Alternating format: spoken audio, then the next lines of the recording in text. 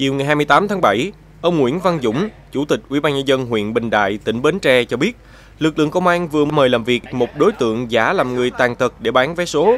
Theo đó, khoảng 17 giờ ngày 27 tháng 7, phát hiện đối tượng có biểu hiện giả làm người bị tàn tật nằm trên xe đẩy tự chế để bán vé số, tạo thương cảm để người dân cho tiền. Công an thị trấn Bình Đại đã mời làm việc để làm rõ hành vi.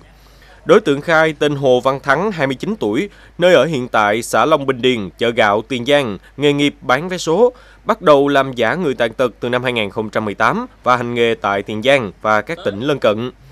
Đối tượng đến thị trấn Bình Đại lúc 13 giờ ngày 27 tháng 7, giả tàn tật nằm trên xe đẩy tự chế để bán vé số gây sự thương cảm để người dân cho tiền.